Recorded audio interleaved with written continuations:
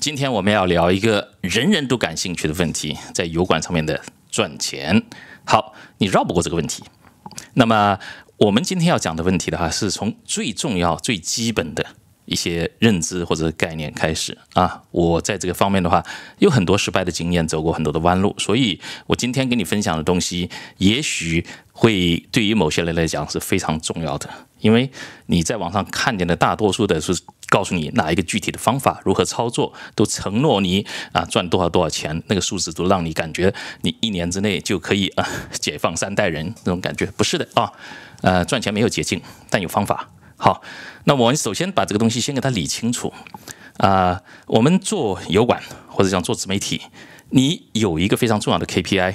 应该就是赚钱啊。你可能不是冲着钱去。但是注意啊，我没讲目标，或者是呃，或者是讲理想，或者是呃什么东西。我刚才用的一个词是 KPI，就是你这个事情做成了，做到成功到什么程度，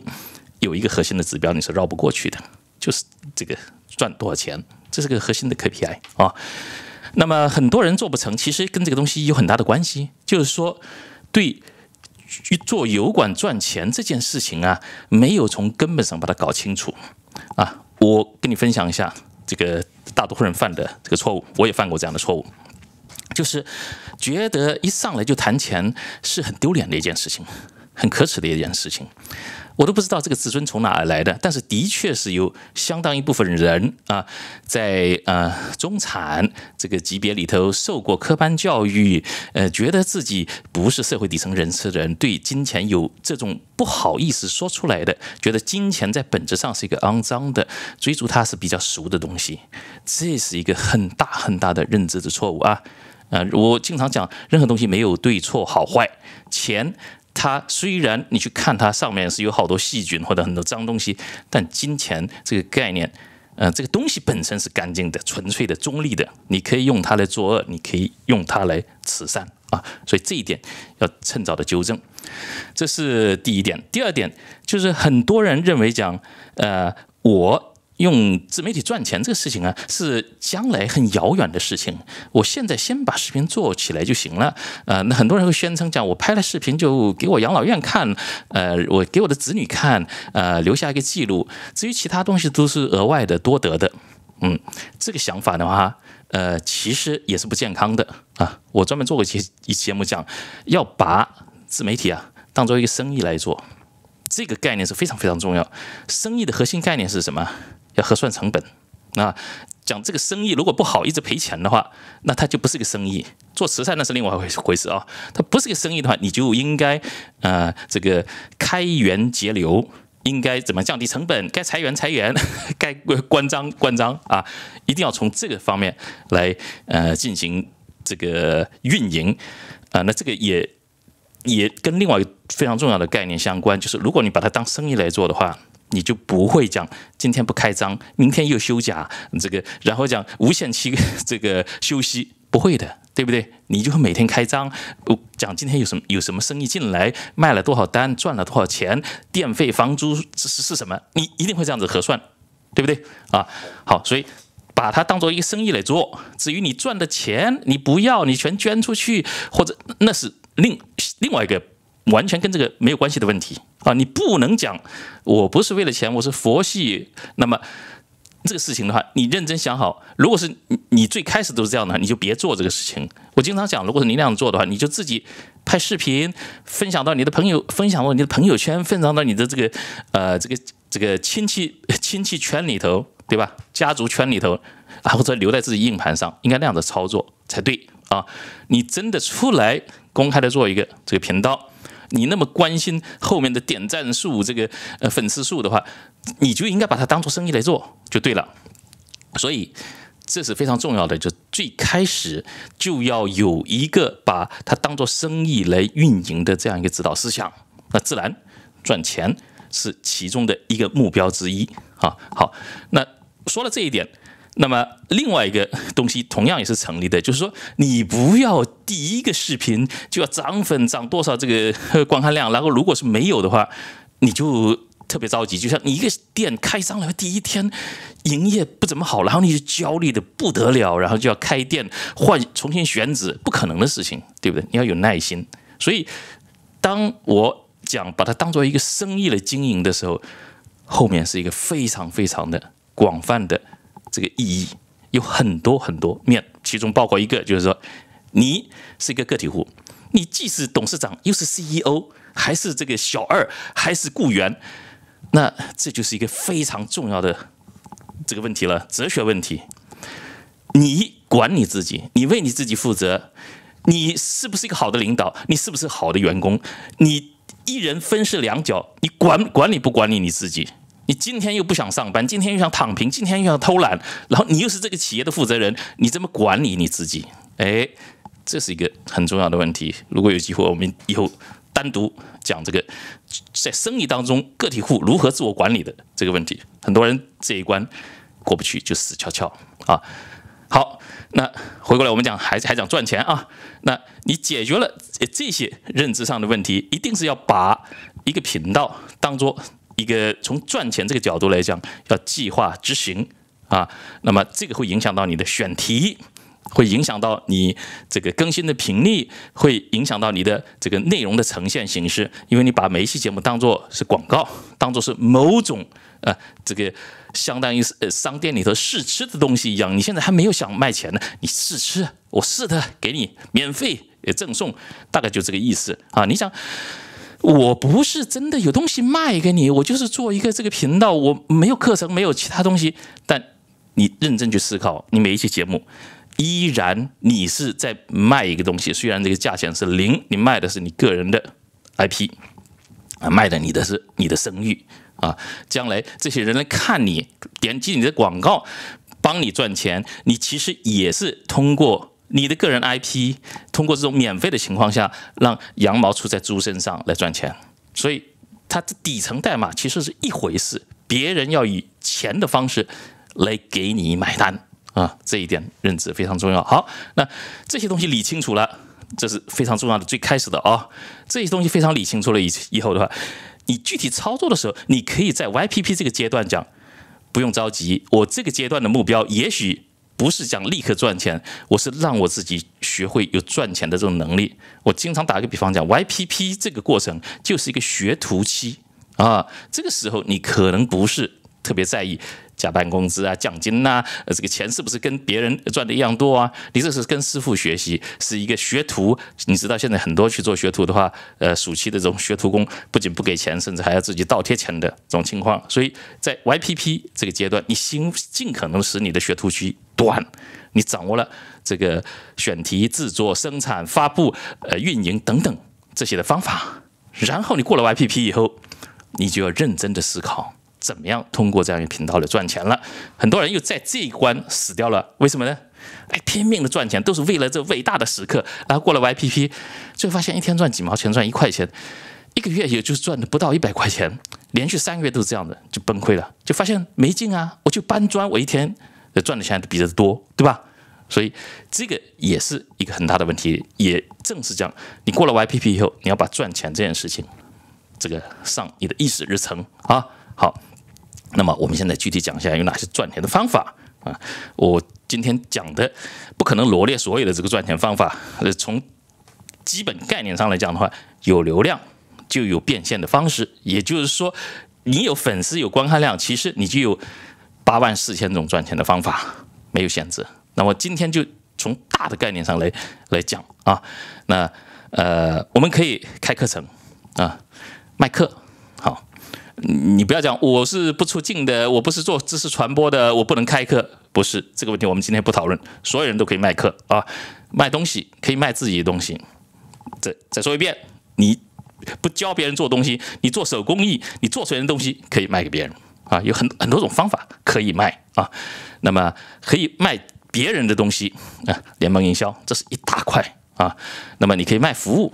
你可以这个做流量的频道，也就是我啥都不卖，实际上我就是卖人设，卖我这个节目的呃对你的这个陪伴呐，呃让你有快乐时光啊，让你感觉着学到东西啊，那么你会有不少人花时间在我的频道里面，然后看广告，这广告那就谷歌就给我钱啊，这是一种方法，叫做流量，走流量这条道路。另外一些呢，我不需要太大的流量，我要找到精准的粉丝，说有一百个人看我的，能转化两个人，能能买我的东西，我就能养活我自己的话，哎，这是一条道路，你就不会去整天又是这个又又是穿丝袜，又是扭屁股的，通过很多的。他们讲的叫做呃吸引一大堆老色痞的这种粉丝，那种人不会有太多的这个这个商单的转化的这种可能。所以刚才我打的这个比方就是说，你可以走流量，就是百货公司这条道路啊，谁都来，我都欢迎你。那么呃后面讲的这个精准客户的话，打个比方叫做开精品店啊。开这个高端奢侈品店是这样一情况，那么我不需要那些就是完全没有下单的这种意愿的人，我都根本就不需要你看到我。所以这一类频道，也许就是说你可能就做几千粉丝、一万粉丝、三五万粉丝，你对于那些这个一碰就几百万、几十万播放量的人，他好像瞧不起他。但是这一类的这个频道，如果它是非常精准垂直的话，赚钱的能力是非常可怕的。哎，这些人是闷声发大财，你根本就不知道的啊！我们看过很多这样的这个频道，所以你要定位你是开百货公司，还是摆地摊，还是开精品店，你要确立这一点啊。好，我刚才提到了呃开课程，很多人呃有一个错误的这个认知，认为课程就是把一些录像。啊，剪一剪，或者是每一期录录录一点点，然后三十个录像放在一起一包装讲，这就是课程，不是啊啊，这个是我看到大大量的人犯这样一个错误，认为弄一个播放列表给你，好像就是一个课程，认为我内部的一个呃分享，然后录一下就是一个课程，好，这是对课程的错误的认知啊。那今天我就不展开讲，如如果你真的是想要。通过卖课这个方法来赚钱的话，你可以呃这个用一下老胡的这个咨询服务。那卖服务，那那就是也一对一，往往的是就是咨询这一类东西。那还有呢，呃，这个就是很多人卖这个陪跑的这个服务。就是说，课程本身就像你看过了以后，你去按照课程操作，但操作里头会出现很多问题。很多人就会通过群的方式，通过陪跑的方式，啊，像老胡通过这个实战训练这种方式来做，提供更加高端的一些一对一的这种定制服务。那这个单价就会比较高，那就不可能像卖那个九块九这个课程，你弄得多少人买。所以你要想通你的这个变现的商业模式，然后这样去做。啊，那你做课程里头，我多说呃多说这个一句啊，很多人做课程不知道我刚才讲的这个视频打包不是一个课程啊，那是课件的其中一个组成部分。那做课里头，我常看到常见的一个错误就是很多人喜欢做一个大课啊，就是所有的问题好像都解决啊，这种方法不太适合绝大部分人啊，绝大部分人适合做微课。做做小的课程，然后呢，一系列的课程，这个是既能更能赚到钱，也更容易操作，而且是更容易建立起个人品牌来。千万不要是只做一个，就是从油管或者自媒体从入门到精通，哇！这样一个包罗万象，写一本这么厚的书，这个不是自媒体的玩法。自媒体的玩法是讲这个呃呃四十九块九毛五教你如何做出这个完美的封面图这样一个，然后这个一个标题的这个课程是十九块九毛五，是这样子的玩啊，嗯，这样的这课程才能有非常精准的解决问题的。呃，你不是讲一个就是呃包治百病的药，这种能骗的人特别少，但是呢。二型糖尿病的人，这个吃我这个东西是立刻就见效，或者是我这个茶是专门什么什么东西的，精准打击这个终端客户啊，这是做客啊，做服务啊，做商业，其实要多从这个方面去思考啊。好，今天我们就不展开讲这个问题。所以，就我刚才讲的这一段，就是你做流量这一块的话，你可以是很大的流量。这个叫做你的客户，或者是讲的你你的流量，或者是你的这个商业的引流啊，我们讲通常一个叫做这种流量的这种漏斗，你可以做的很宽很浅啊，这个娱乐类的、泛娱乐类的、八卦类的就是这样的，那那你就是靠流量来赚钱。那么你可以做的很窄很深，那你很窄很深进来的一个客户的是。就是我们讲的就是精品店的这种客户，你每一个单价比较高，但是呢它是精准的，那么呃精准的获取这个客户，转化率很低，这个频道没有多少粉丝啊，但是呢他闷声发大财啊，所以这些都是不同的套路，可以赚到钱的啊这种方法。那呃，所以我们这个经常强调，就是说粉丝数啊，你不要去太在意它。啊，要你从油管的这个 KPI 这个角度来讲的话，你要在意的，我们刚才讲的是第一，第我们今天讲的是赚钱是最主要的 KPI。然后呢，你要看流量，这个流量我刚才讲的，你要在你的这个跟你的目标去匹配这个流量，对吧？你不要去看人家这个扭扭屁股就是一百多万播放量，你根本也不要羡慕他，因为你如果是开精品店的话，你只要有一百个人里头有一个人给你一个单，他可能就是几十万甚至几百万的单。啊，他那扭屁股死活扭不出你这么多钱来的，你你你想清楚你自己的商业模式，你你才能够有针对性的去讲，顺着这个这个销售漏斗进来的是怎么样的客户，然后你正好能满足他的需求，你就能够啊通过他来赚到钱，提供这个对应的这个服务。那那个如果是你决定走流量，那你就应该把这个漏斗放的越宽越好，恨不得就是所有的人就都点击。都会去看啊，就是满足所有人的好奇啊，这个人畜无害的，他能哈哈一笑的啊，这这走走流量，那你讲你最后赚钱就是通过谷歌通过平台给你赚钱，那这一类我们以前讲过，风险极高。哼。说不定什么时候你的账号就出问题啊！所以讲从一个健康的这种商业模式来讲呢，你不能讲是靠的某个这个呃抱到某条大腿，然后每天就给他这个像做食堂一样供应一样，这个太危险了。前前段时间我还有学员来跟我讨论讲，这个我到学校里头包一个食堂，这样好还是不好？我就讲风险极大，哪一天哪一个环节出了问题，那个有有个五个小孩拉肚子，还有一个小孩进了 ICU，你就完蛋了啊！所以这种风险极高啊，链路极长，要维持打通的关节太多，这不是好生意，不能干这种生意啊！啊，所以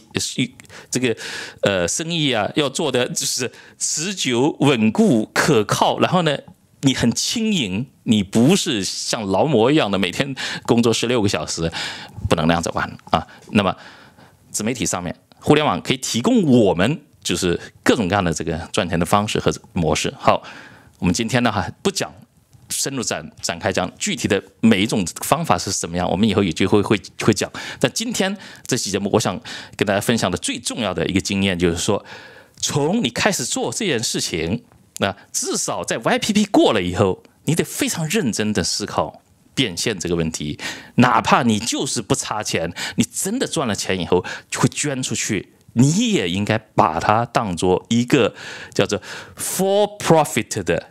这样一个慈善机构，像比尔盖茨那样子玩慈善，而不是想每年把这个钱，而是要让这个机构让他每年还能赚钱，不仅捐出去了，还能够有钱。能够运营，多招更多的人来做更大的事业啊！所以这一点，从第一天不要不好意思，你不好意思证明你就不知道这个呃规则啊，有什么东西不好意思啊啊？你又不是去偷，又不是去抢，而且有了这个，就是像这个就是像这个。系穿衣服系扣子一样，这是第一颗纽扣，你得把它系正了。后面你的所有的行为，你的所有的这个动作，以及你的选题啊、执行啊，你分析后台的 KPI 啊，你才不会去在意有多少粉丝。其实我讲粉丝，你都可以有很多人去刷这种粉丝，对吧？粉丝没有价值，观看有价值。那那什么人观看能变现，能变成为你付费的？即便是羊毛出在猪身上的这种方式，你也应该有一种明确的这种变现的这种方法。所以，这个就是第一颗纽扣，或者是提纲挈领的东西。你把这个东西抓住了，其他东西全都清清楚楚。要不然，你就会无比纠结啊！你你你就是每天，即便是看起来好像是在坚持，其实你就是在被你自己裹挟着往前走。呃，自己绑架自己，这是很可怕的事情哦啊！人家绑架你的话，情有可原，你自己像行尸走肉一样，然后又看起来好像是我在努力，我在坚持，这是很可悲的事情啊！你其实有各种各样的选择，你可以选择换方向，你可以停更，你可以选择这个大的这种调度，呃，或者是变化啊，这个是我我自己的经验和我以前辅导很多人的这种经验，就是有的时候我什么都没干，就跟他聊一下子，然后他夸他想清楚了，往旁边一拐，这个效果立刻就能看得到啊，几周或者一个月之内就能看到很好的效果。所以我们经常讲那句很俗的话，你是赚不到你认知以外的钱。有的时候真的不是比运气、比技术，是讲你一个东西在一个重要的认知关节上，你没有通过去，啊，捅破那个关键那个地方就是一层窗户纸，就这么简单。你捅破过过去了以后，你就会讲对，就像我前面最开始讲的一样，你对这个赚钱这个东西的正确的认识，很多人就是因为对这个认识不清楚，所以就把这个频道把内容做的一团浆糊。啊，那么人设啊、垂直度啊，所有这些东西全都会崩塌，因为你没有足够的去认识清楚那个终极的那个 KPI。至于讲，如果你是真的为了赚钱，然后你就考虑讲赚钱各种各样的方法，你要考虑到赚钱的效率问题、赚钱的成本问题、赚钱的这个这个方向或者这种方法的天花板的问题啊，有的人。这个这个生意模式做的不好，就是每增加一个客户，他就会增加这个很大的成本，就是边际成本高的这种生意，最后就会把你累死。那个也不是一个好的成本。但这种东西可不可以做？比如说收费群，比如说这个陪跑，比如说这个低价的这种咨询，可不可以做？可以做。但是如果你一直都在这个地方，就完蛋了。就是我经常讲的那个例子，你本来是到餐厅里头打工，打工是度过一个难关的，结果一打打一辈子，这就糟糕了。我看到很多人在